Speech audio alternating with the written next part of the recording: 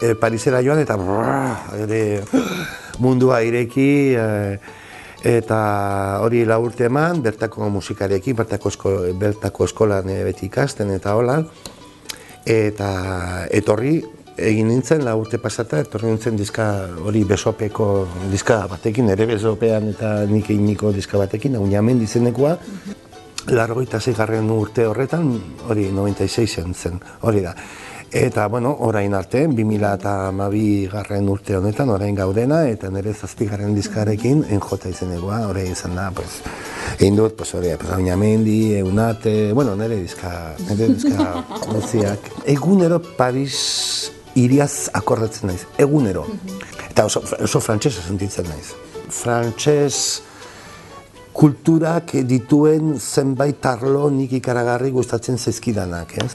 Adibidez, e...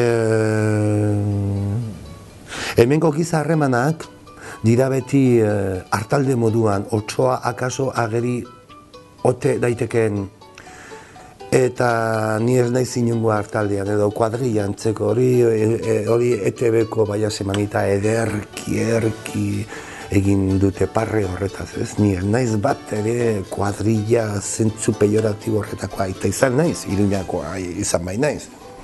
Nik ez dut otxoen e, beldurrik, ez da otxorik, ez?